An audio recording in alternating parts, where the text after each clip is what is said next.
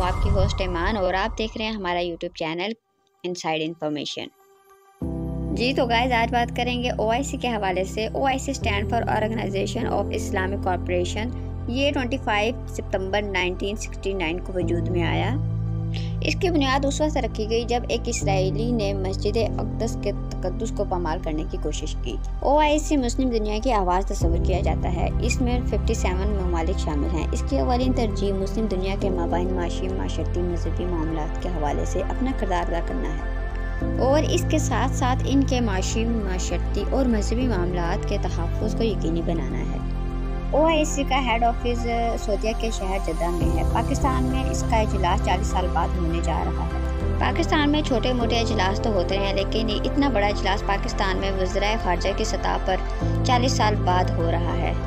और इसकी सदारत सऊदीन कर रहे हैं और जनरल सेक्रेटरी सऊदिया के हैं। इसमें 57 इस्लामी ममालिक के अलावा भी फाइव ममालिक, जिनमें अमेरिका, फ्रांस, चाइना, रशिया और यूके इसके अलावा जर्मनी, इटली और जापान भी शामिल किए गए हैं। इसमें ख़ास तौर पर अफ़गानिस्तान के हवाले से बात की जाएगी।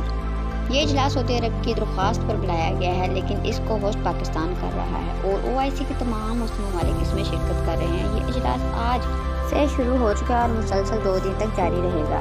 इस इजलास से पाकिस्तान को बहुत फ़ायदा होने वाला है।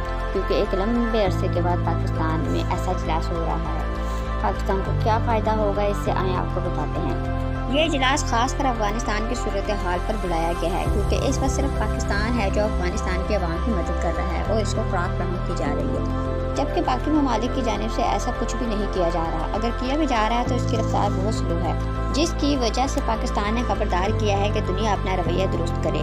नहीं तो अफ़गानिस्तान में एक बड़ा इंसानी अलमिया जन्म ले सकता है। इस वक्त अफ़गानिस्तान के दस अरब डॉलर भी अमेरिका ने रोके हुए हैं। अगर वो तालिबान हुकूमत के पास होते तो वो अपनी आवाम को कुछ रिलीफ फ्राहम करते और बहरान की इस कैफियत से बाहर आते। अब इमरान खान ने जब इसकी तरफ़ तोजा दिलाई तो सऊदी अरब ने ओ आई सी इजलास की दरख्वास्त की, जो कि अब पाकिस्तान होस्ट कर रहा है। सऊदी अरब के वजरा खारजा भी पाकिस्तान पहुँच जाएँगे और पाकिस्तानी ममालिक भी इसमें शिरकत करेंगे। इसमें अफ़गानिस्तान के मुस्तबिल से मुतलिक बड़ा फैसला होगा कि अब अफ़गानिस्तान की मदद कैसे की जाए और अब अफ़गानिस्तान को तस्लीम करने के मतलब भी बातचीत हो सकती है। ओवैसी का ये इजलास पाकिस्तान में हो रहा है, तमाम मुस्लिम ममालिक के वजरा खारजा पाकिस्तान में होंगे। इमरान खान भी अहम वजरा खारजा से मुलाकातें करेंगे और पाकिस्तान इस इजलास से मुस्लिम दुनिया में अपना मुकाम और बढ़ा सकता है। पाकिस्तान, अफ़गानिस्तान के मामले में पूरे OIC को एक कर सकता है, क्योंकि अफ़गानिस्तान भी एक मुस्लिम मुल्क है और OIC का हिस्सा है। इसलिए OIC के तमाम ममालिक का फ़र्ज़ बनता है कि अफ़गानिस्तान की मदद की जाए। और इसमें पाकिस्तान, अफ़गानिस्तान की मदद के लिए इन ममालिक को आमादा करेगा और अफ़गानिस्तान को तस्लीम करने के हवाले से भी बातचीत की जाएगी। इस इजलास की मीटिंग कल होगी जिसमें देखना यह है कि कौन सा बड़ा फैसला किया जाता है वो आई सी ममालिक की जानब से अफ़गानिस्तान के लिए।